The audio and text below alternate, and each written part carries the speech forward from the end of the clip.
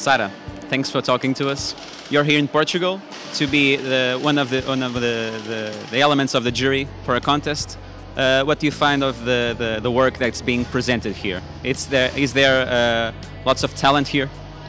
Well, first of all, I'm very happy to be here. Thank you for interviewing me. Uh, I'm very happy to be here. I think it's a beautiful initiative, uh, the one that we have set up. And uh, well, I have great expectations uh, from the designers, uh, I, especially from the point of view of the quality.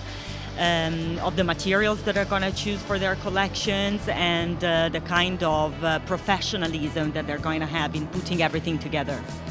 What are the, the, the main aspects that you're uh, looking for and uh, uh what, from your point of view and your analysis, what's the most important? Well, for me, uh, one of the most important things is the ability to tell a story. The ability to tell a story which is which needs to be visually conveyed. So it's not easy to tell a story when you are not using words, but you're using objects to help you. Um, and especially I expect to see quality in the fabrications, as I was saying, because uh, Portugal is a country which has a tradition, which has a heritage in this. And so I expect to see in the young designers a sensitivity for the material. Lots of parents usually have a question that is, uh, is, uh, is there a market and job opportunities for uh, I believe uh, many many students uh, that want to, to be part of the, the fashion business. Is are there uh, these kind of opportunities for them? Well. Um, the theme of job opportunities in the fashion business in reality is not any different from uh, any other job opportunity in any other field. Uh, this is a moment uh, which is a bit difficult. I mean, definitely back in the 80s it was a lot easier, okay? But yes, there are opportunities. There are opportunities for the students, especially when they have talent, when they are passionate, and they are really willing to be noticed. I believe, like you, you are saying, uh, for one who wants to, to be part of the, the fashion business, you can't be scared of, of taking risks, right? Well, you know, to the risk taking for me is one of the ingredients which is at the basis of creativity. Um, so uh, I believe that uh, if you want to be in the fashion business, uh, risk taking is a big, big thing that you need to have. At uh, the Domus Academy in Milan, uh, you have, I believe, Portuguese students there. Uh, what do you think of them? Are they, are they up there among the, the very best? Yes, absolutely. We have had uh, some Portuguese students in my course. I have had uh, one Portuguese student for each course in the last uh, one year and a half.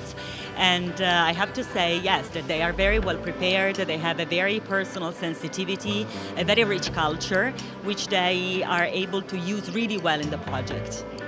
And for those who, who won't be able to have their own, to create their own brand, what are the options to, uh, for, for, for working in, the, in this business? Well, I would say that uh, based on my experience, not all the students that we have had uh, decide to open up their own brand. This is a big decision that sometimes also implies uh, big financial possibilities. But um, most of the students, in any case, carry on working and having a career as fashion designers in design companies or studios starting as junior designers, arriving to senior positions. They also work in accessories. Uh, they can work as fashion stylists, they can work as trend researcher, they can also work as freelance and consultants, they can also work in uh, retail and uh, visual merchandising. Uh, they can work in marketing and communication. So there are many positions which are open, and sometimes, I mean, um, also fashion designers then uh, end up becoming fashion journalists, for example. So it is a background which opens up a lot of different positions. There are a lot of different uh, um, branches uh, that fashion has inside, uh, and this is also one of the reasons why in Domus Academy we actually have different courses which are dedicated to all these areas. Uh, and so basically the students uh, can come and they choose normally their master of reference and they dedicate one year of study going in depth on all the professional aspects of these fields. Um, so Domus Academy is a school that was founded in 1983, so it has quite uh, a long history, I would say now, and uh, it, it grew its consolidation. I mean, it, it, has become really a consolidated school thanks to the collaboration that we have with companies, with the industry, and which makes the school and the experience of the school very unique. Plus, it is uh, an international hub. Uh, it is a place where you can find people really from all over the world. And this is an incredible richness. We nurture a lot to the culture of the students.